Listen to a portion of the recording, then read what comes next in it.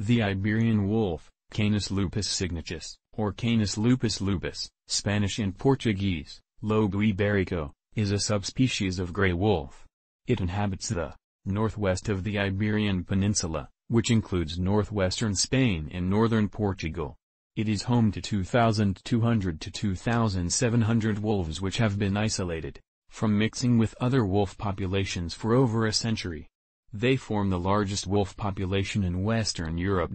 Due to population controls and damage to livestock, Iberian wolves were, as of September 2021, the only Western European subspecies of wolf whose hunting remained legal, yet only in Spain.